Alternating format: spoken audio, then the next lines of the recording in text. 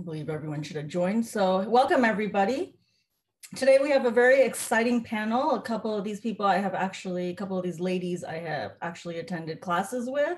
So I'm excited to see some of you. It's been a long time. Um, I appreciate everyone joining and happy Women's Month. I can't believe it's already March. So our March last year looked very different. Anyways, without further ado, I want to just get started. We have a lot of questions and a a good amount of panelists to get through. So um, today we're celebrating Women's History Month. Um, we, as you saw in some of the emails, we called it Her Story um, since we are highlighting the women of ICS. We want to showcase the women and their superstars and their journey. And they're comprised of from all walks of life in this journey. They have worked in different corporations uh, and we want to talk about not only their journeys, but also have a conversation about, you know, what their, um, uh, how to make changes in equality for women. And we welcome comments and dialogue in the chat room, but we will address them at the end. So we will first begin with Renee. And Renee, do you want to share a little bit about your journey, when you graduated, what other degrees you may have, your career path, and your job today? Sure. Good afternoon, good morning, good evening, wherever you all are tuning in from. I am Renee Reid.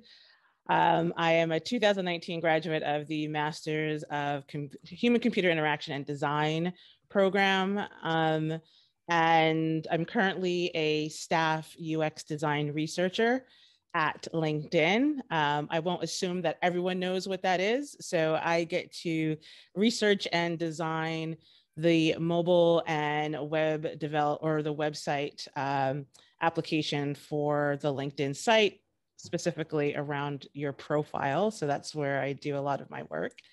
Um, my undergrad degree is actually um, from a historically Black college and university in uh, Savannah, Georgia, so a, a HBCU.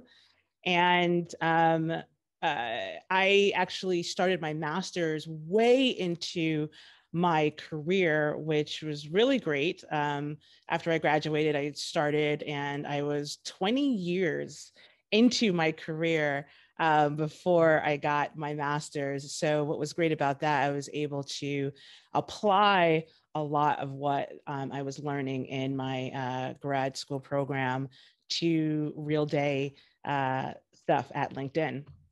So it also helped me out in terms of not going into debt because I was able to pay off uh, grad school a lot easier because I was already into a, a, career. So that was fantastic.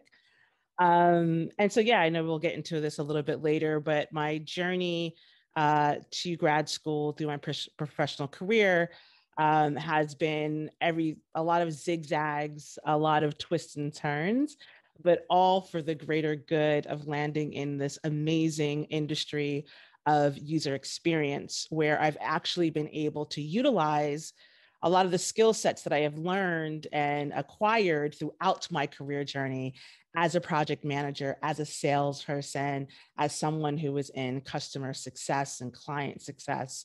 Um, so pulling that all together, acquiring all these skills and becoming the uh, UX researcher that I am today. Um, and so, yeah, my journey uh, landed me at uh, UC Irvine.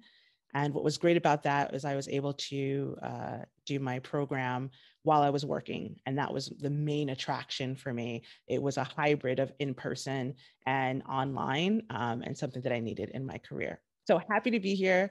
Um, and I will pass it to the next person.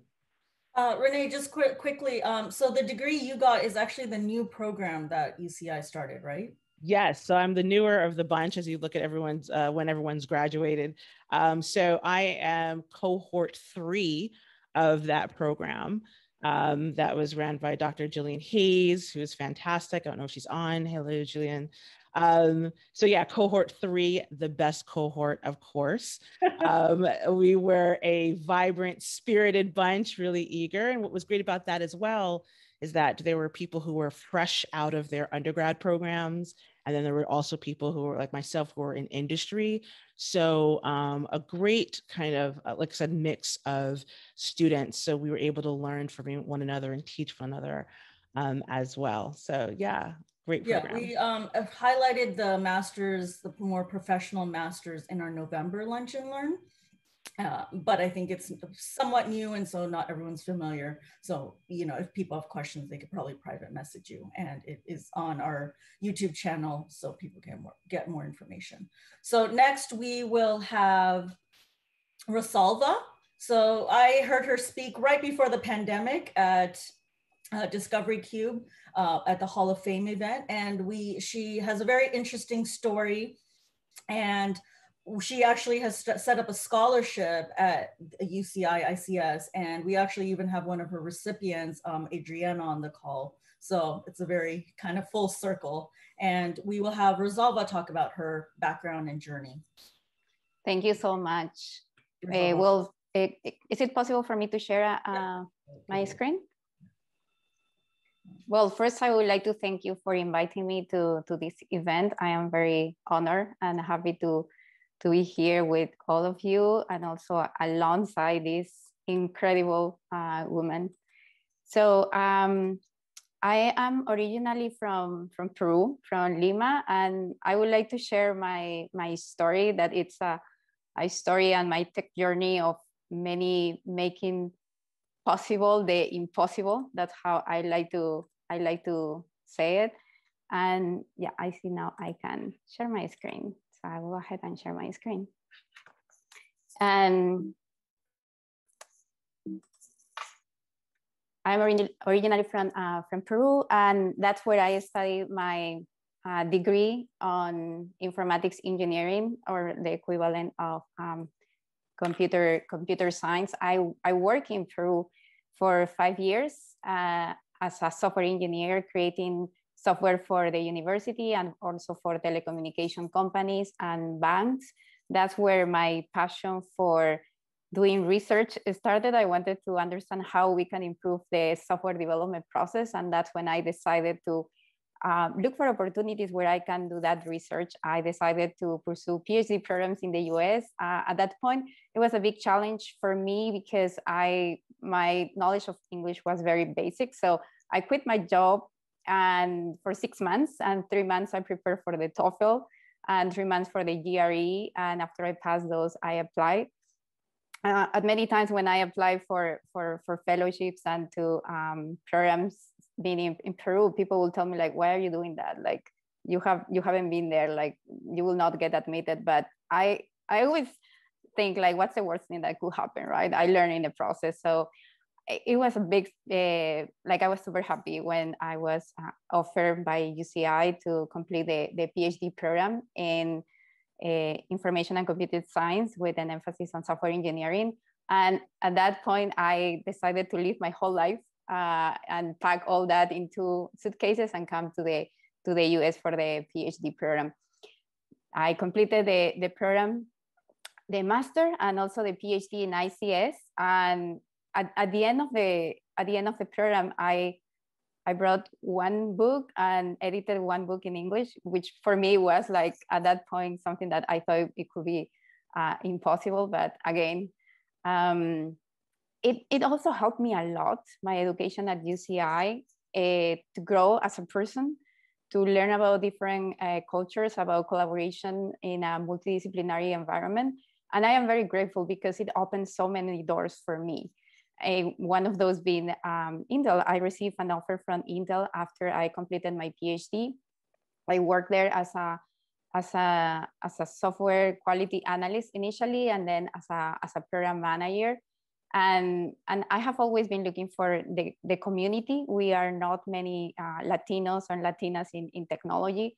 So I, I was part of the Latinos uh, leadership at Intel and also uh, the, the Woman at uh, but I didn't find many many Peruvians, so I decided to to to create a nonprofit that is called PeruSV. That it's it aims to close the technology and innovation gap between Peru and Silicon Valley. In, we have these annual uh, meetings that are called TechSuyo. Tech it's English for technology. Suyo it's the Uh, it means task in Quechua, that is the native Peruvian language from the Incas.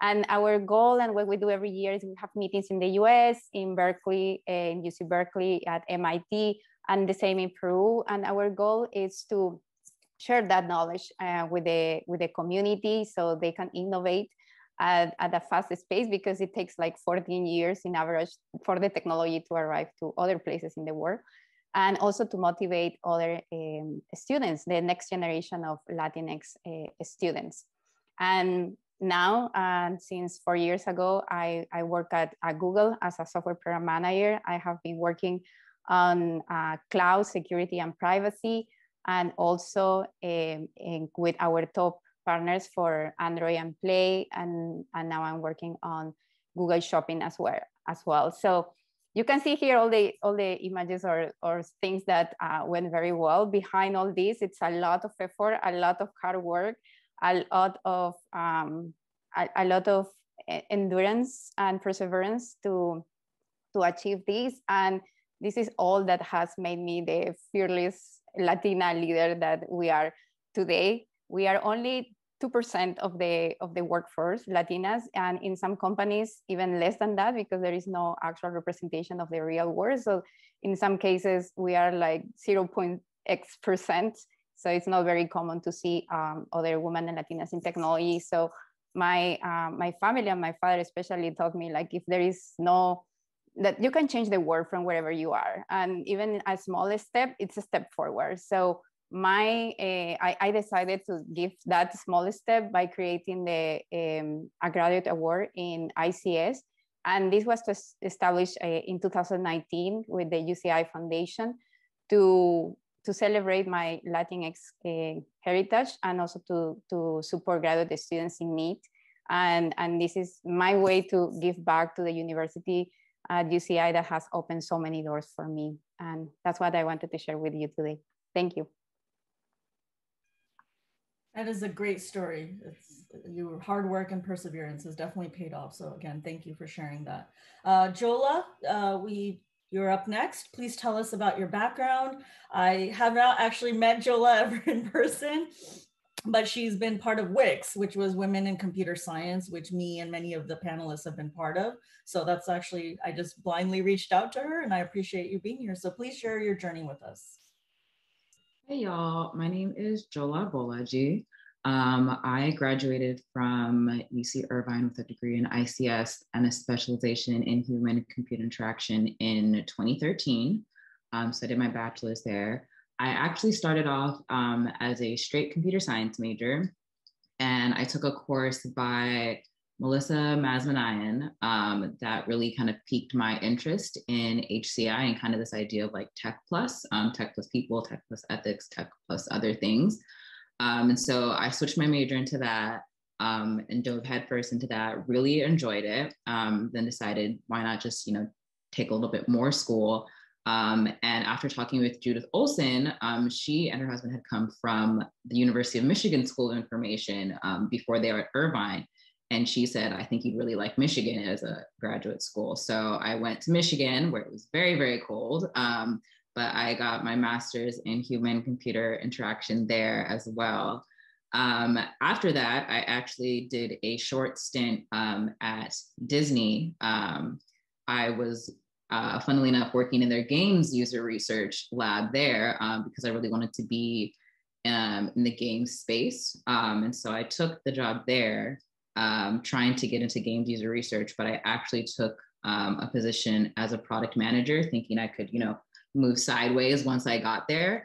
Um, but I actually really fell in love with um, product management um, and just the day to day impact on the game, right? So what I do as a product manager is a lot of live ops. So it's you know setting the cadence of events and sales in the game, tracking key performance metrics like revenue and retention rate of players and things.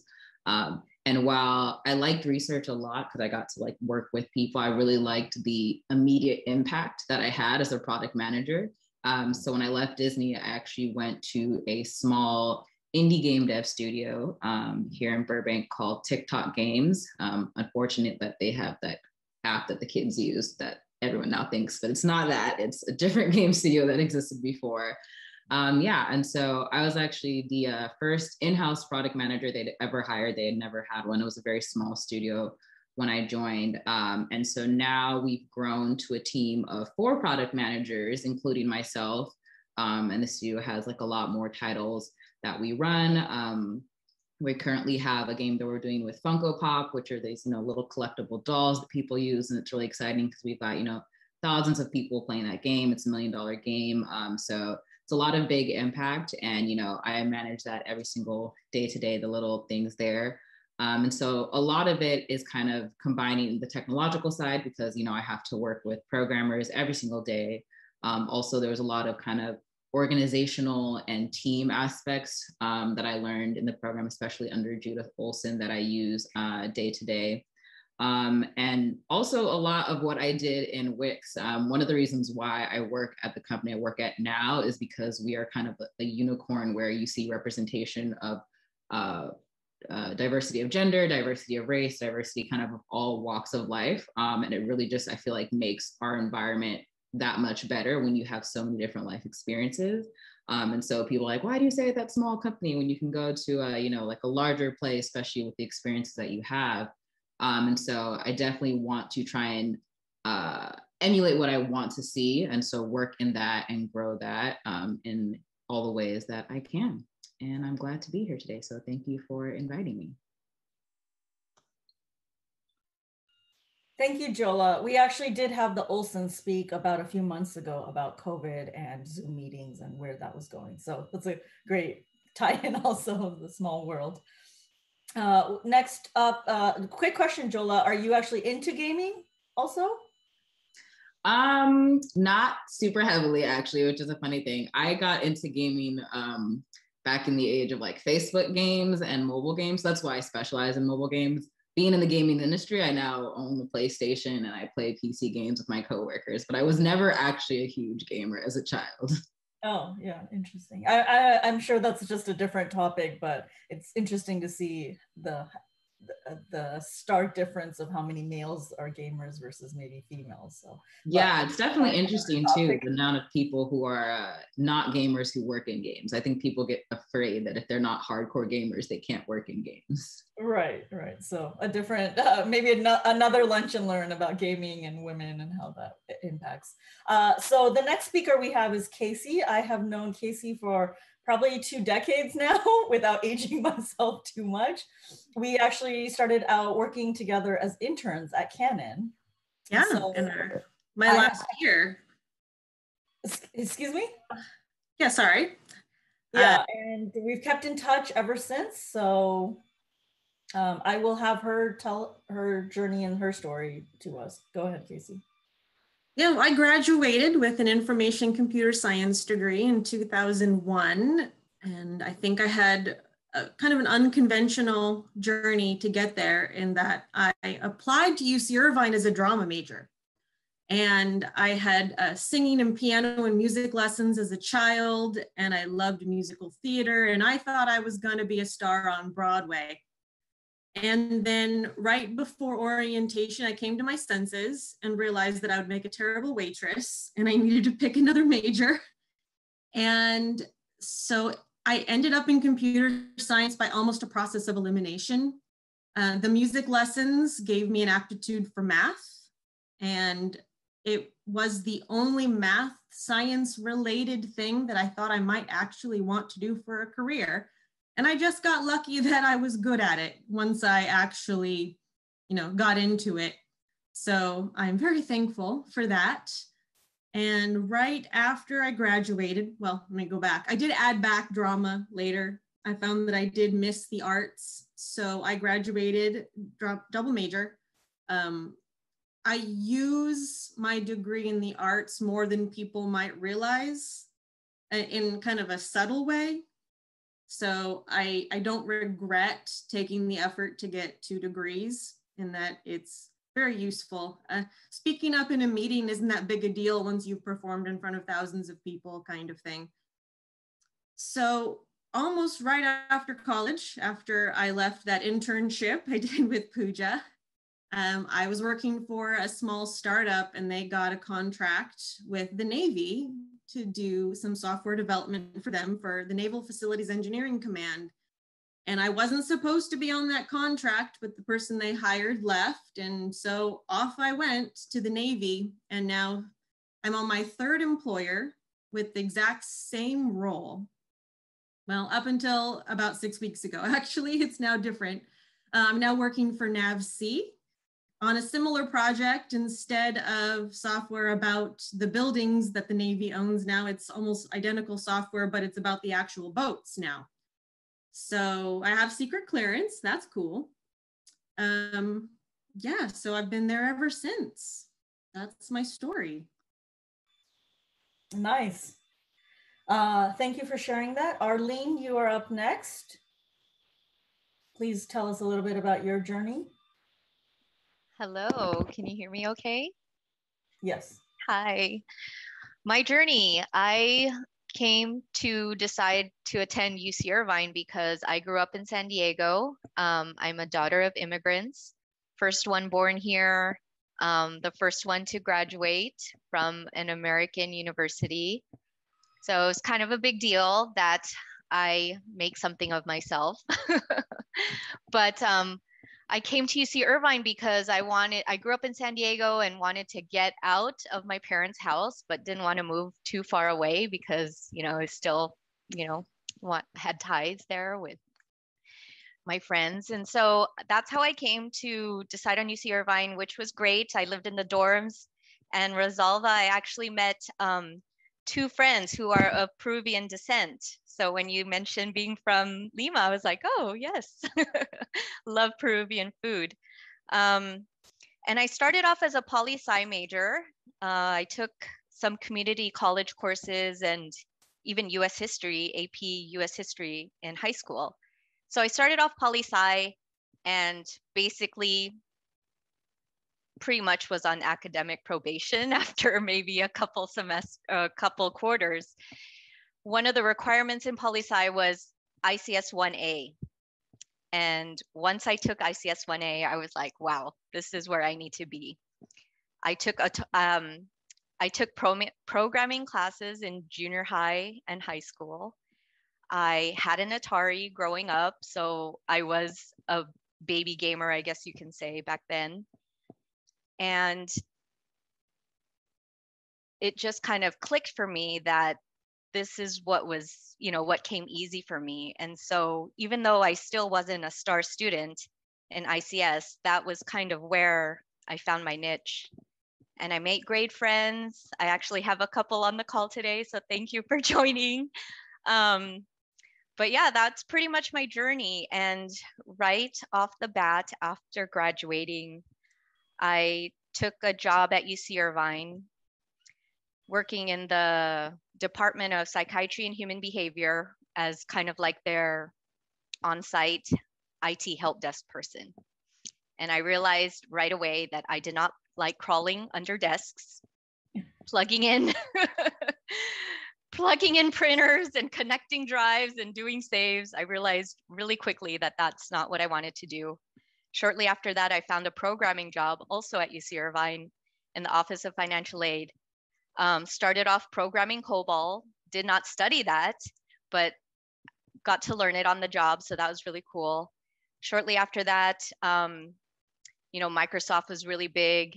They started their BI um, tools. So that's where I learned reporting services. Also on the job, that was in a real estate um, type of company. And that was just before the bubble popped. So um, got laid off from there and but got into you know banking industry, finance industry, and somehow I ended up in the mechanical, um, biomechanical device industry. So that's where I'm at now, Össur Americas. We make prosthetic feet and knees, as well as like orthopedic products. So wrist braces, neck braces, back braces and my department is called sales operations we're basically the liaison between it and you know the sales um, sales reps that sell our product and i've been there for i think 13 years now and the company and the sales uh, sales organization has evolved so much that it you know it's constantly evolving. And basically, that's probably why I've stayed there for so long. Um, it also helps that my boss is female, so she's very supportive and understanding. Um, so yeah, we get along great, and it's been it's been a good journey so far. nice. That must be very gratifying to work for a company like that, right? Mm-hmm. Yeah. Boss obviously makes a great difference, and then also in the work you do. mm-hmm. Yeah. So I can see Thank why. you. And our last, uh, last but not least, we have Yasi. Uh, she is actually in my graduating year, and I haven't seen her in a while, but we're Facebook friends and stuff. So I'm glad to have her on board. So Yasi, please share your story with us. Thanks, Pooja. Good to see a lot of familiar faces on here. It's taken me back. Um, yeah, so I graduated in 2002 with uh, my bachelor's in ICS with a specialty in information systems. Um, and, uh, you know, later on went to go get my uh, executive MBA from, from Pepperdine uh, several years later, not until about 2007, eight, uh, perfect timing for when that recession hit. Um, but yeah, so I, um, while I was at UCI, uh, getting getting my uh, ICS degree, I uh, was looking for internships like crazy, I, and I, I was willing to do anything for free, and I couldn't find anything until finally I was working at a bank, and um, ha- so happened that the guy that used to come to my teller window every every Saturday uh, was an engineer and was working for a startup in Orange. And uh, you know said hey why don't you come in for for a job interview for for an internship? And you know i ended up getting it which was which was awesome. Um, and they actually paid me which was great. And uh, and i started all the way at the bottom right? So i started answering phones and then i kind of went into the tech support side of things and i was still you know getting my degree. Um, and similar similar to Ar- Arlene, I was a, a poli sci major to start. Uh, thought I was going to go to law school, and and I was just bored out of my mind reading and regurgitating stuff. So wanted to do something that was a little bit more challenging. And um, you know, the the computer science field never really came real real natural to me. So it was it was challenging and it was hard, but it was uh, really rewarding. And it was interesting because you know I used to walk through the through the campus of of uh, UCI, and um, you know sometimes you'd get people asking you what your major were what major was or they just assumed that you were like a social science major or something that you couldn't be anything in computer science or engineering. And that kind of just challenged me and pushed me more that even if this wasn't you know uh, what i was great at i was gonna i was gonna push myself and i was damn sure gonna be great at it in, in some way shape or form um, so I kind of just worked my way up through through that startup, which actually happened to be a really male dominated field. Um, it was tech for the waste industry. So I was one of probably I don't I can't even tell you it, it it's it was like a one percent women in that field at that time. It was ridiculous. I used to get called little girl. I didn't know what I was talking about. Um, and it was fun. It challenged me, it pushed me, and you know, I had to have a really, really thick skin um, to be in that male-dominated world. And I was in that space for almost 18 years.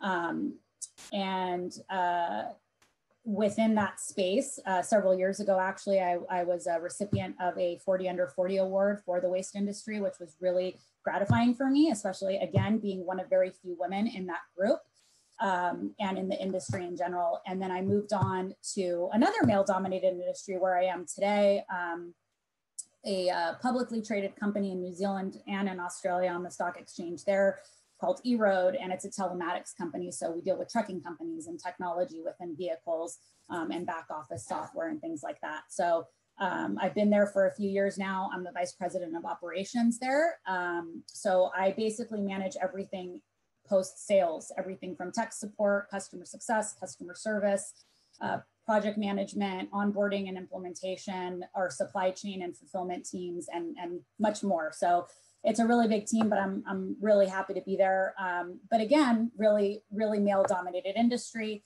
Uh, lucky that that my organization is um, is very inclusive of gender and, and race and everything like that. And they really actually try to push to hire um, more women in the tech field. And so when you go into our headquarters in New Zealand, it's it's actually a really beautiful thing to see so many women engineers um, in that space. And even though I'm not doing any coding or anything like that, uh, I was able to take my my degree and put it to use with the technical aspect and then the business aspect and really do something that I that I love every day.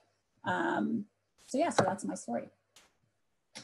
Amazing. That's you know very strong to be in such a heavily male dominated field, right? And especially in this trash and waste field. So uh, we've uh, we've talked about this a little bit, but I'll just open it up in case you wanted to add extra comments about it. What kind of made you choose ICS, or what excites you about it currently? Um, so we can go in the same order, Renee, if you want to add anything more.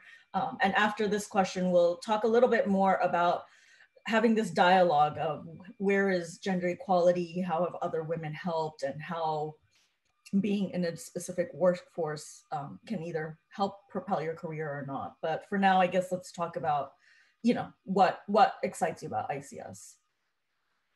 Yeah, um, I think again, I, I, mentioned this earlier in terms of the program that UC Irvine was offering was really attractive to me in terms of having that capability of uh, being in person, being online, um, specifically around HCI and design, I wanted to make sure that I was adding that um, academic uh, rigor to the work that I was already doing in industry and had come up in industry, learned so much, had all of these skills and methodologies. Um, and of course, there's some amazing programs um, that are being offered in the HCI space um, from different universities. Some you have to go full time and be on campus. Um, and so, you know, in really investigating and researching all the different programs, um, what really stood out for me for the Master in HCI and Design um, was this ability to uh, have um, uh, really industry uh, focus as well as again academic rigor and have that balance so that i can make it really applicable to what i was doing in my day to day and as a ux researcher um, i had you know market research experience in the past from my undergrad and this was just a really great way to complement um, all of the industry information and knowledge that i already had and so this added just this uh, amazing layer uh, to my uh, to my resume, to my portfolio of skill sets um, to really let me stand out. And like I said, what it was really great for me is that I waited 20 years into my career journey to go back for my master's.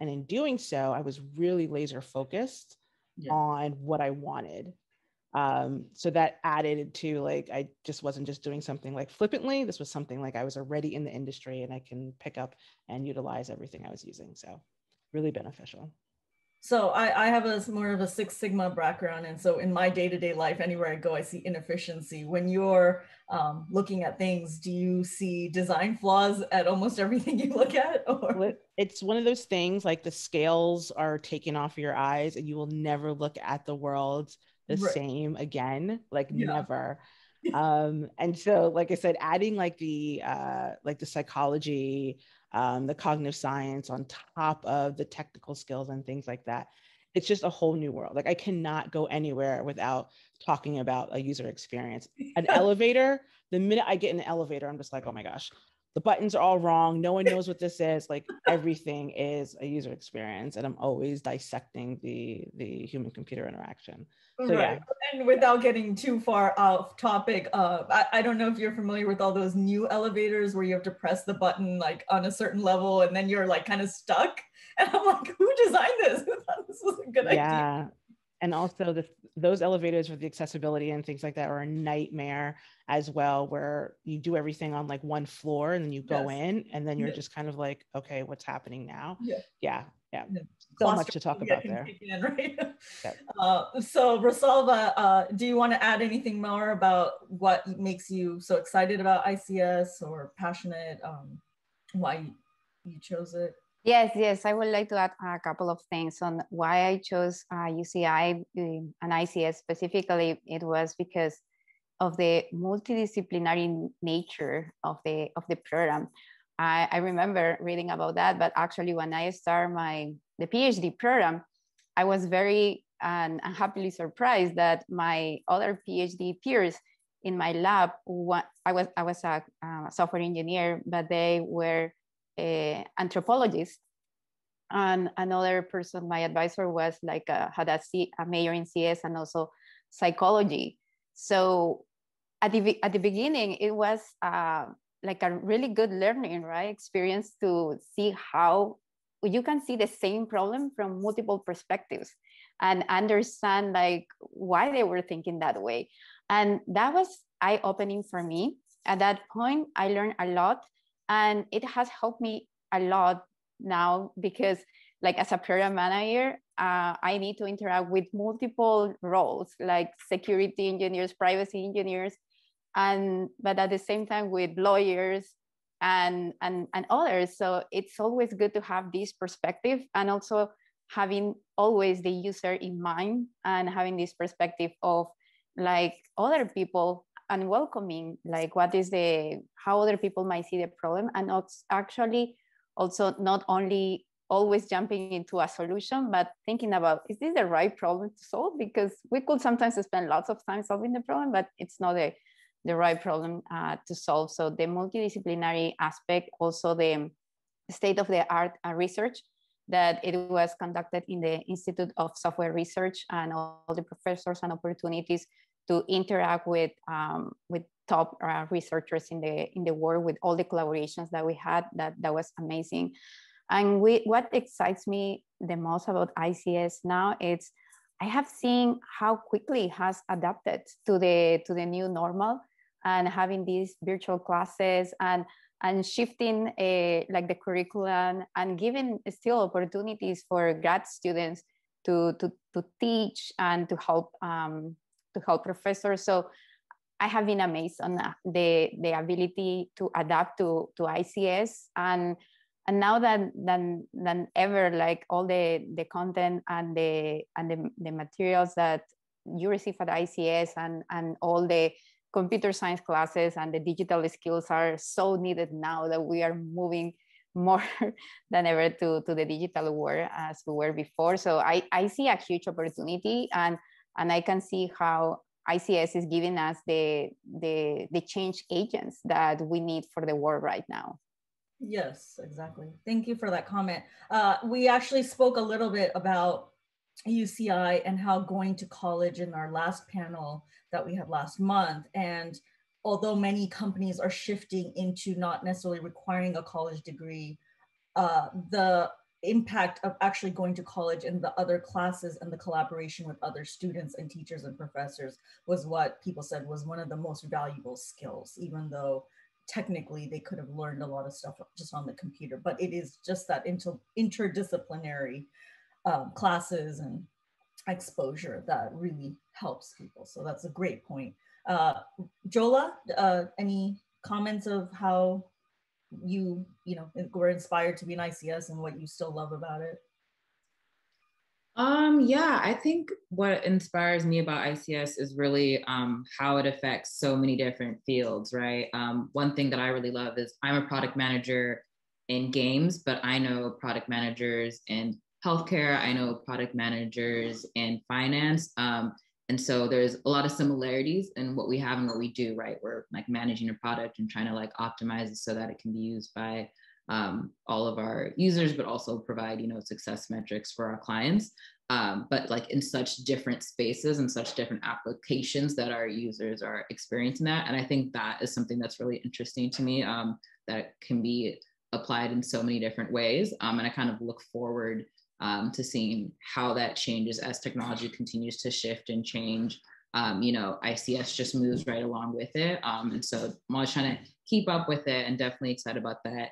And also just excited to see ICS grow um, as a whole, uh, more and more people, more and more diversity in it. Um, I definitely think that will also affect how it shifts and changes is who's involved in it too.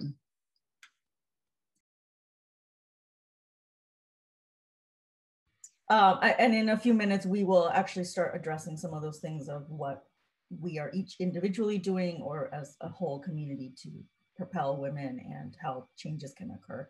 Uh, Casey, uh, what made you kind of, you talked about it a little bit. Uh, I know that you're in the Navy, so that's a little bit different than some of the other stuff you do in your private time. So maybe you want to talk about your Little Pony collection and how you've used drama and, you know, getting not just being in the Navy field, but also other ways you've incorporated computer science.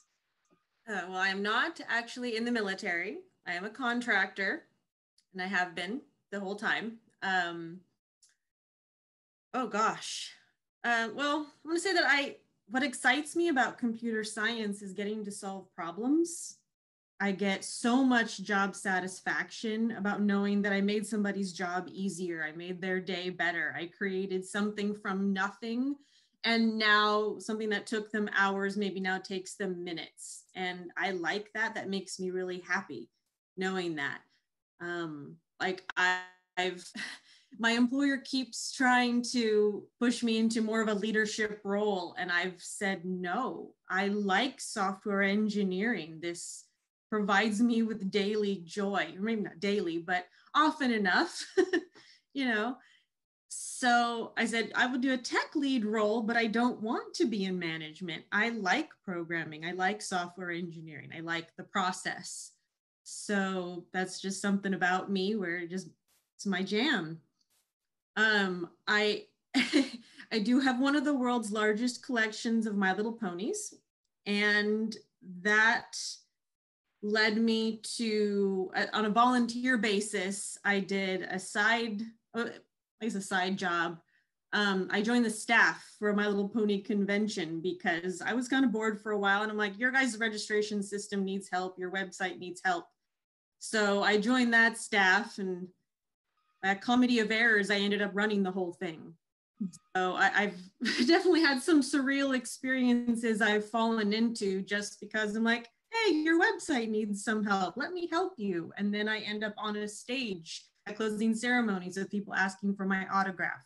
It's very strange and surreal sometimes. Um, the Navy at least was stable. I'll give it that. Um, yeah, I think that's enough. Yeah, that's a nice story of how you've used ICS, you know, for your passions. And mm-hmm. every time I see a My Little Pony, I always think of you. So, uh, Arlene, uh, please tell us a little bit more about what you love about ICS. And- Okay, one comment about My Little Pony. I totally had a castle, like a big castle. So, I mean, are there, can I sell that? yes, yes, I have that. um, well, I think it's amazing that when I was at UCI, um, the depart it was called a, the Department of ICS, and now I believe it's a, the School of ICS. So I just think that's amazing. That's amazing and uh,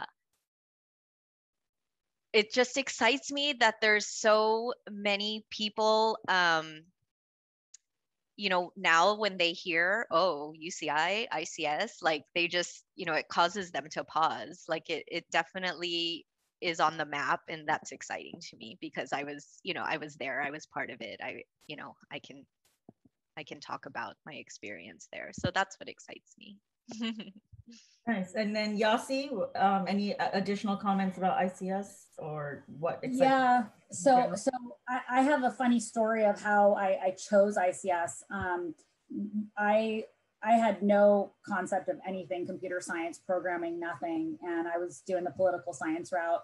And my brother's girlfriend at the time had just finished her ICS degree at UC Irvine.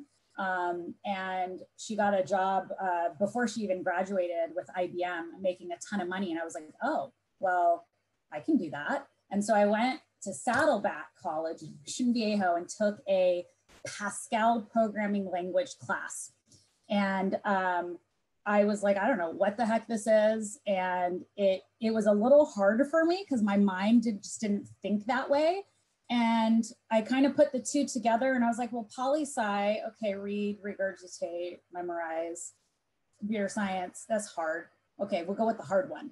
So I wanted to be challenged. And so that's why I picked it, which is which is a funny story when I tell it because everyone thinks it's really weird, but um, no regrets at all to this day. And and I think, you know, the thing that's super exciting to me about this degree, especially as it relates to just kind of my career and my my journey since I graduated is that it's not just one thing, right? So a lot of people, and and and I think part of the reason why it can be intimidating to some people, and in particular some women, is that you know when you think about ICS, you think it's just programming, and it's just not, right? Like I knew going in that I was not a programmer. I tried it. I tried to do UX design. I tried it. I was like, yeah, it's not for me. It's just, it's, it's not. But I can take this, what I've learned here, and I can apply it to so many different things throughout a technology space. And it's what's helped me through my career, right? Having all the different roles that I had growing through my career, but also the degree and what I learned in school really helped me to kind of put it put it into perspective that look i can take this tech background that i learned and yes maybe I wasn't the best programmer, but I understand the concept. So I can go sit and talk to a CTO. I can talk to an engineer, and I can then apply that to a business and talk to a customer and put it in layman's terms where somebody can understand it, right?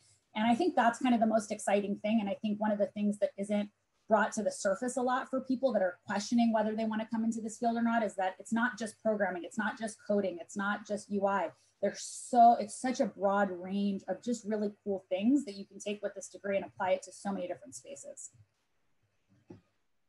Yes i agree with you that all these points have been very valid and i wanted to now open this up a little bit and have a little bit more of a dialogue so anybody can speak up with some of these questions. One question would be um, how have you overcome everyday maybe subtle racism um, or, and what are common misconceptions that people have about you know gender equality or inequality? And have you kind of been mansplained in your workplace in a meeting specifically? Any story or uh, anecdotes?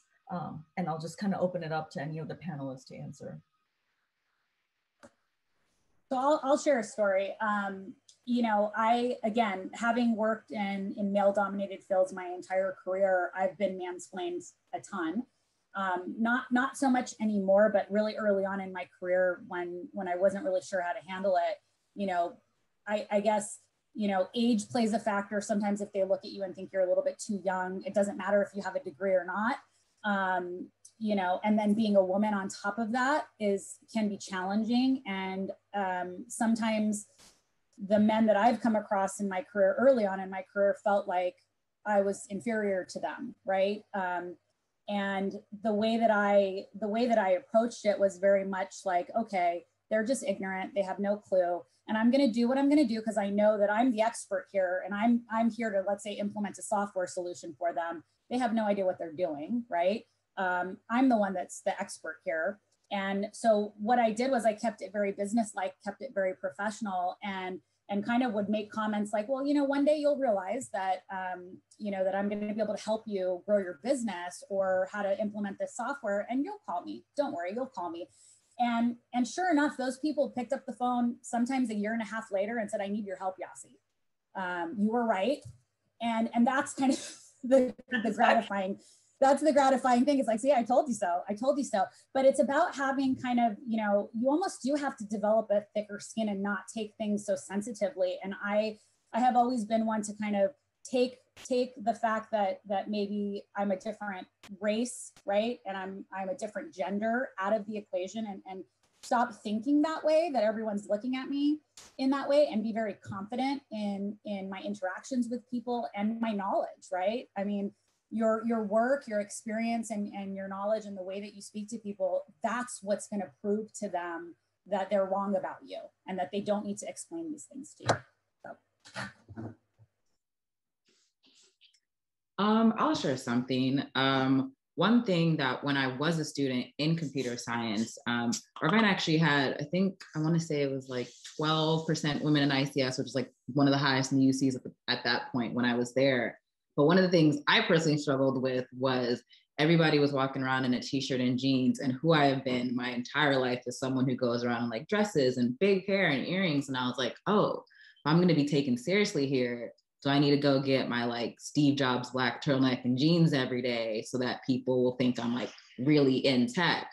Um, and WICS um, actually sponsored for me to go to uh, the Grace Hopper um, conference one year. I think it was my junior or senior year.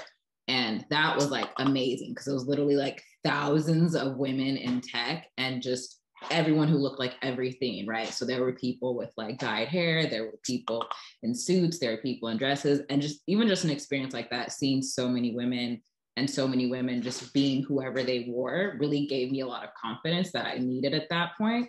Um, and so I was like, you know what? I'm going to be in tech I'm going to be me. I'm not going to change just so I can be accepted in tech. And um, that's also one of my favorite things about my current job um, is my boss is very much, um, I like to say an accomplice rather than an ally um, because we have gone into meetings, right? As a product manager, I'll go with him to meetings to potential customers, and they will ask him product management questions when I'm sitting right there and was introduced as the product manager for the studio.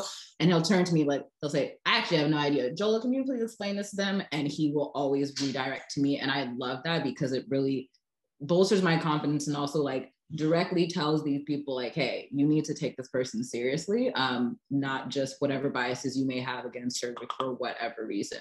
So um, definitely that's something that gives me a lot of hope that as we continue to interact with more people that we will change more people's perceptions so that we can really make an impact.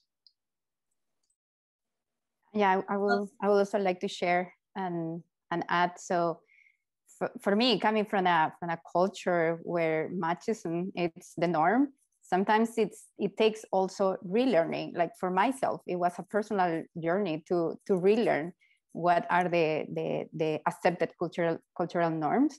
And, and something that, that helped me a lot was to learn this concept of microaggressions. So those are the little things that could happen like in, in meetings or some comments that sometimes is very small, but you are you, like in, my case i was thinking like is it me? Is it only me taking it that way? Or is it feeling the same for everybody? So that's something that for me it was um, initially hard to process. And then when in some of those meetings i i saw other people other women like saying hey no that's not correct or not that's not appropriate. And and it helps me to learn like to identify those to to identify those moments. And and act immediately. Like when i see something like that uh, for for me or for anybody else in the in the room i stand up like bravely immediately. And usually what it happens what, when i'm surprised is like usually i will call up the behavior right there. Uh, but then i will talk to the person privately and i be very specific on uh, i having these difficult conversations uh, format like okay uh, you said this and then i this make me feel this way i will appreciate next time this will happen. And when i share that the response i get is like i'm sorry i, I didn't mean that. I didn't know that uh, some people will feel that way. I'm so sorry. So the lesson i take is create awareness. Uh, some people don't don't know like how others feel with that so create awareness on that and and and believe on like uh, good good intentions as well. But at the same time like stand for yourself for others in the room and be brave. Yeah so yeah. we actually discussed this microaggressions topic and word and how you know these biases and small small things that add up over time. And that is part of the conversation of how to create change and i'm glad we have such strong women and you know powerful trailblazing women to discuss this and create some of these changes and have the open dialogue you know that's the most important thing i believe to create some of these changes is to have the dialogue. Renee do you want to add um, anything? I know you have your um, head wrap line right? Yeah so um, soon to come. It's on its way, but I I do clearly wear uh, a lot of head wraps and have just created a, a, boldness about who I am and this authenticity and being able to show up in spaces that normally um, historically in, in, the professional and tech world you don't necessarily see um, head wraps and so um, I've been very bold in in just being who I am in these spaces and what started out as something for me has literally what I've realized over my career has actually been the way that has freed up or given other people permission. And so I know someone put courage and was just mentioned about being having courage and being brave. And when you are able to show up as your authentic self and operate uh, with that courage and bravery, you actually, without you knowing sometimes, are freeing other people up to um, be bold and be brave in their own spaces as well. So um, it is important if you uh, have been given uh, that freedom yourself uh, to operate in that freedom and being able to speak up, um, confront those micro, uh, microaggressions um, as best way as possible. Um, and I wanted to say that uh, one of the things that was really, really helpful for me in, my career when I did find those microaggressions starting to uh, fester over time, because they do build up, was uh, being able to use the phrase, this is how that showed up for me. And it creates this, because um, a lot of people feel like if you are confronting people, they're going to be defensive and things like that. But if you just approach it in a way of i just want you to understand how this showed up for me. And and to the point that was made earlier and that bringing that awareness is just so important um, so that the next person uh, may not have to deal with it or may not have to experience it. So you're you're helping yourself out you're helping the next woman out um, and things like that. So yeah can I add something? That that great comment, Renee. Um, you know, I when we were at UCI, uh, if you remember, we had we started a mentorship program for women um, to join ICS. Um, some of you may remember that. Um, and I, I, think that's something super important that so many of us here can actually continue to do. So uh, when I moved to Portland, for example, I joined a group uh, for women in tech and I mentor three women um, because that's all I can manage currently. But it's super important, I think, because there's a lot of guidance that a lot of us can give based on our experience, whether it's through the tech space or through how to work with with you know with men, being a woman in the tech space, and all that kind of stuff. And I think it's super important to kind of pay that forward and really really help to guide some of these these young women that are out there and struggling to find their space because they might feel pigeonholed or, or whatever it is um, and really use our experience and our knowledge and, and, and the experience of everyone here that we've heard to, to kind of help those women move forward. Yes, I agree, Yasi. Uh, another, you know, topic that has been brought up when we discuss microaggressions and stuff is this imposter syndrome. I don't know if any of you have dealt with that, where you feel like, you know, you're trying to uh, show this feeling and you're second guessing yourself and how maybe you've overcome that. Can I speak on that? Yeah. Um, that is definitely true. Being in the room with, you know, the kind of technical guys who do it all day, they live and breathe some programming language or tech. Um, it's hard not to feel inferior in that kind of environment. And then I just remind myself that they have to Google the error message just as much as I do. They have to look it up just the same. They had to learn it somehow. They're looking on Stack Overflow too. Uh, you look maybe at the usernames on there, who's asking the questions. It's not all women asking and men answering. That's not how it actually works in the real world um, they have to look it up too. So I just remind myself as well that the only difference between me and someone who can do something I can't is they've read different books than I have, or they've watched different videos than I have. They just have slightly different learning, but not necessarily a different capacity. So that helps a lot. Yeah, thank you, Casey. I wanted to be a little bit mindful of time. It is about one o'clock. Uh, there's a couple other questions, but uh, maybe we can address those a little bit after. I just wanted to, to have the audience, is there any takeaways that you each would like to you know, point out about diversity and inclusion efforts um, in your personal or professional lives and anything that we as individuals can do to help foster this diversity and equality and inclusion. So um, how can we help combat these misconceptions and communicate more effectively? I want to say one thing really quick before we shift gears. Um, and I know this is probably an unpopular opinion when it comes to imposter syndrome, and I always bring this up when I hear it, is that we also need to be mindful of systems that have been constructed to purposely make you feel that you are inferior. And so it may not even be imposter syndrome. We need to take inventory to understand wait a minute, the system has got this set up in a way that I'm second guessing myself, and it's not really me.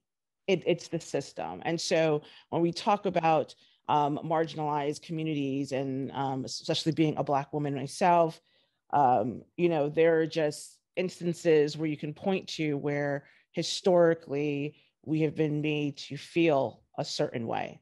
And so we need to realize that. And I also challenge a lot of women who say that they have imposter syndrome, recognizing that it is a, it is something that it does exist. But I also am mindful of the fact that people will carry something that isn't necessarily belonging to them. And I know it's just a word that is used constantly. And I also, I literally just, as a researcher, I'm always going to ask questions. I'll say, well, what is imposter syndrome? Mm. Can you, do you know what it is? Can you define it? And then when they start thinking about it, I was like, you know, it's one thing to have fear and, and, and have anxiety and be uncertain, and that's okay. And we understand that, but that might not be imposter syndrome. So I challenge people to always uh, really take a step back and not uh, label themselves or diagnose themselves with something that may not even be what they're going through. And it, it changes how people perceive things. So. Yeah. Uh, uh, other takeaways that anyone else would like to? Yeah, I would like to share also that uh, we, we need to be mindful to create a space for those uh, marginalized voices.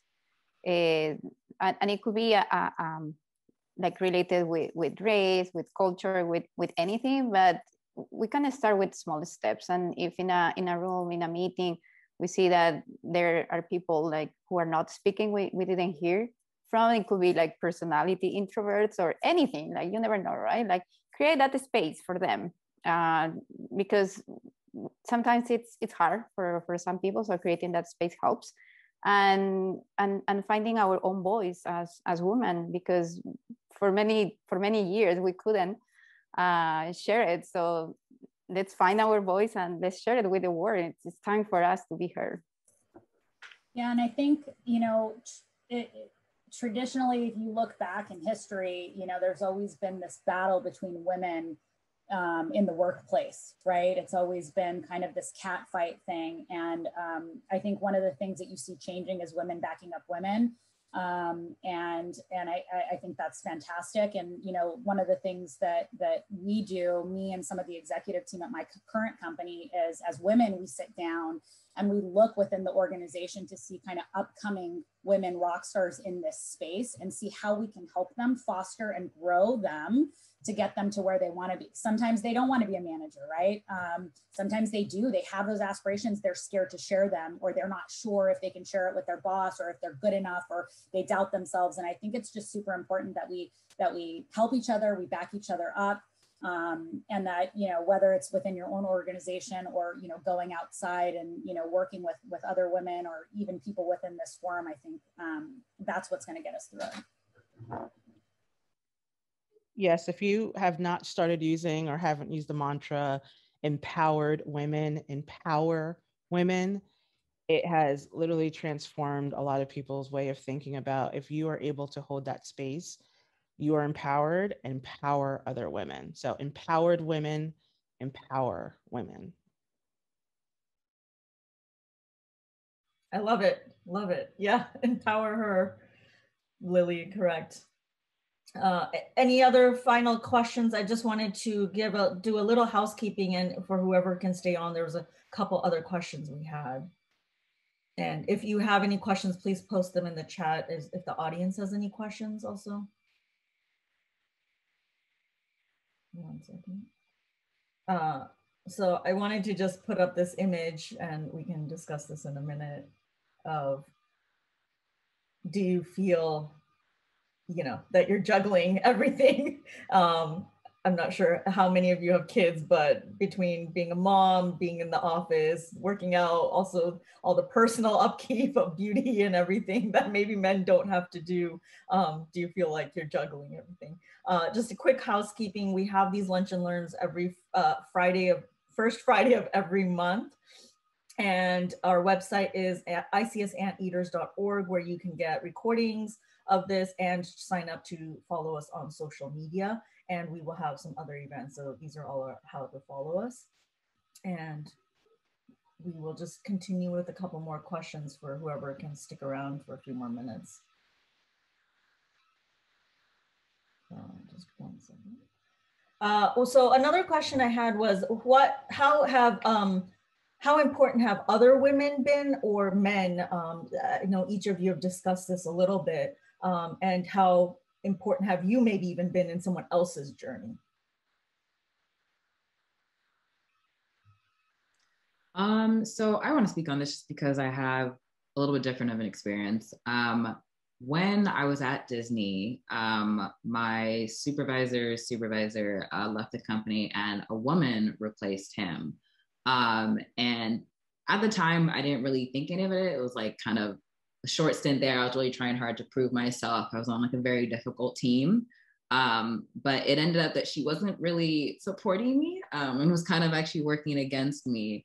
Um, she had a coworker of mine basically kind of start taking over my duties without really telling me. So she just kept like sending him over to meetings that I should have been in and asking him to look up things and do reports that I was assigned to do without directly telling me.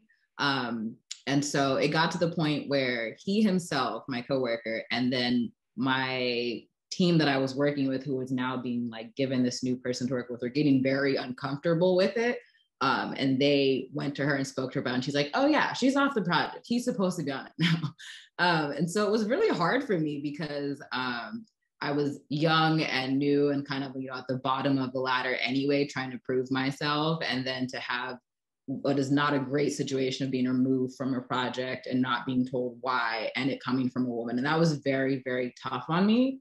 Um, and so what that actually did for me is it made me want to kind of not be that for someone else, right? Is that when I'm in her position or as I get older in my career and move up, I want to be that support because at the end of the day, it wasn't even that I was taken off of the project that was necessarily the problem. Um, there are people who are better at me, there's people who are better suited for projects. That's fine. That's what happens in the workforce.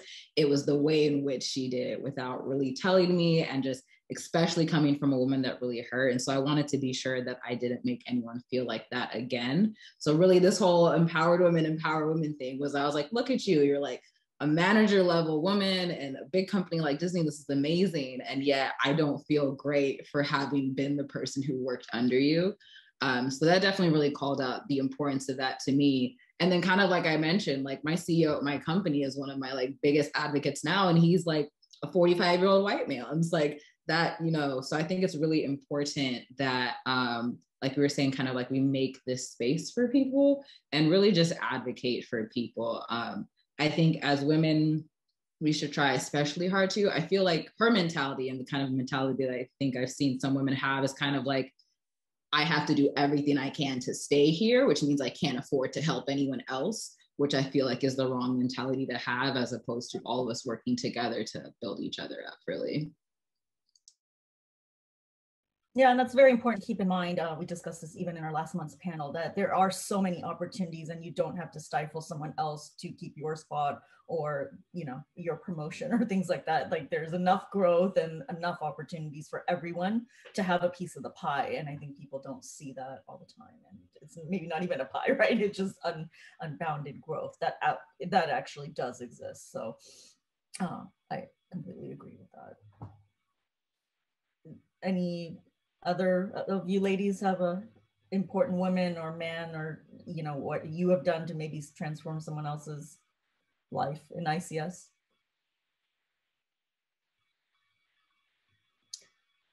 Well, I had um, a young man that he was 19 that I knew, and he he didn't know what he wanted to do. He was going to community college, and he got to see, you know, how I live and, you know, I saw my home office and knew what I did for a living.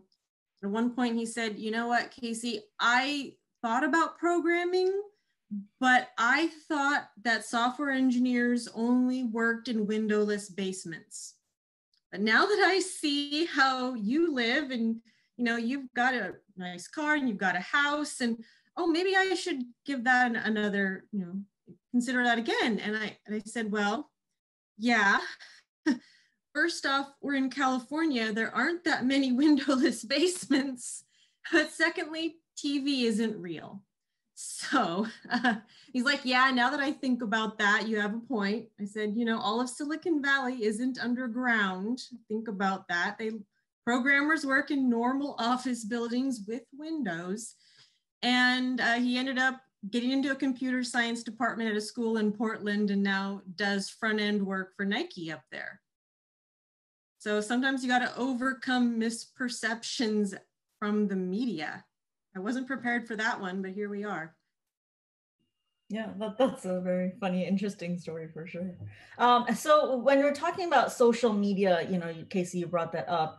Has social media been, do you think, good or bad for you know a social cause and for showing diversity? Has it maybe been a hindrance to kind of say, hey, I think they just work in a basement and they don't get to see people, or do you think because we have these platforms to speak out and now everyone has a voice whether it's through instagram or youtube or blogs that it has actually been better?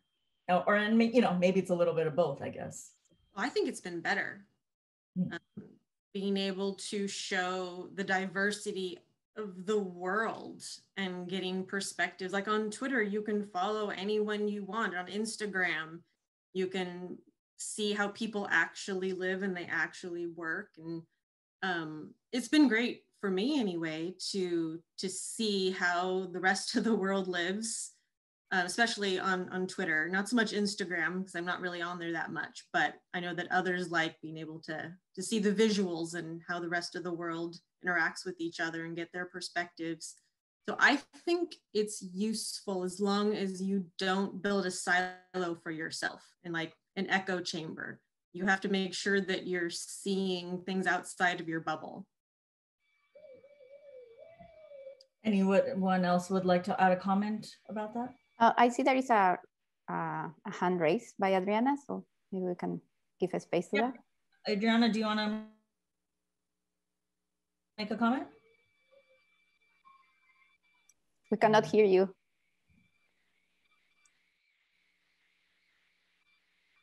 Maybe she was agreeing. no, she's she's uh, talking, but we cannot hear her. We cannot hear you still.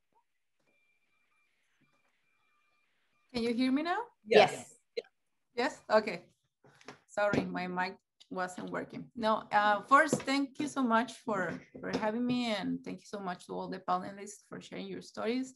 I just wanted to ask uh, very quickly, like, uh, a different situation. Uh, for instance, let's say we know people um, in a position of power and we detect that this person has a good attitude towards supporting women um, and minorities in general, but doesn't really know how to do that or um, how, how to help the community or, or um, women in tech or another minority group and and not uh, this person maybe just help us individually, but it's not uh, contributing to to make a balance to diversity in general because maybe doesn't know how to. Like, how, what can we do to uh, kind of um, educate or or support them to help us?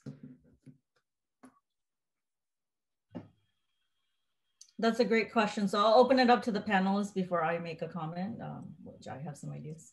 I, I think it, it could be um, helpful to to share like the things that that we do. I personally know Adriana that you do many things for the community to sharing those because sometimes people are, are not aware that those like volunteering opportunities exist and and also what is behind behind that right? Like why are we doing that? Like why do we need that uh, like helping students or, or mentoring others? Like first sharing all those opportunities that uh, we as women participate and share also the why that's behind because in some cases that's not known by by others uh, and we can share how is this important and offer to to be involved because if they have the willingness to to help and and to listen and, and to to learn more uh, inviting them and I, I have been uh, very grateful to, to, to, to men who has been like not only mentors, but also sponsors who had open doors for us. And they look for, for learning because like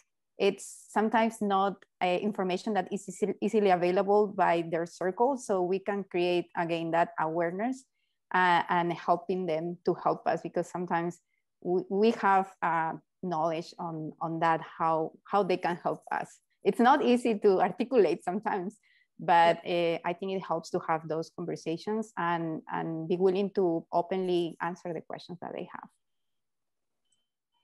Thank you. So I, I'd like to add a comment. I think there's a variety of different ways to get involved, um, especially if you know pay if you're not looking to even get paid for these contributions. I think if you're part of a different organization, so for example, your workplace, maybe you're a, an alumni of a school or a program, and then of course there's also local resources based on the city you're living in or a community you're living in. So I think those are places to start. Like for example, UCI has a mentorship program through the AntNet community, reaching out to your alumni, your school, because they're always looking for help. So you can start at that level. And then when you're at a corporation, again, I'm sure Google has employee service groups, and every company has different service groups.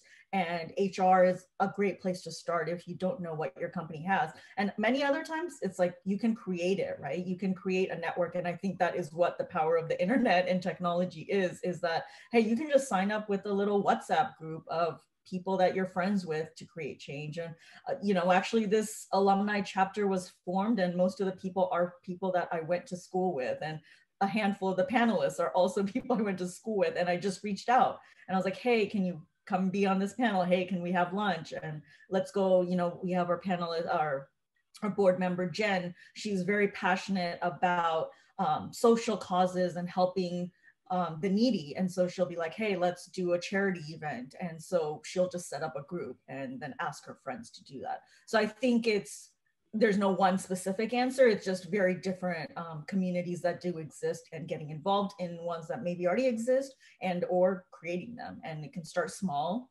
and then you can tap into other resources is what I would say. And, but yeah, sometimes it is overwhelming. There's so many resources. Thank you. So, um, you know, it's almost 120. We've gone over quite a bit. Um, so I just wanted to end this and I really wanted to say thank you so much to our panelists. Um, I know a few of you had to sign off. And I wanted to thank our audience again for making and um, making time to join and seeing this special format and opening up this conversation about diversity and equality. So see you next month uh, for our scheduled uh, monthly lunch and learns, and we'll probably go back to a little more, more of our regular formatting. If anyone has some final thoughts, please free, feel free to share. And until then, otherwise we'll see you next week. Any, any final thoughts, please go ahead. The platform is open. Go ahead, Casey. Oh, you're saying bye? Yeah, just thank you for having me. It was nice to meet you all. Yeah. Thank you all. All right. Have a great so much. Glad to be here. Let's Thank go empower women. yes, empower. Great to see some familiar faces too.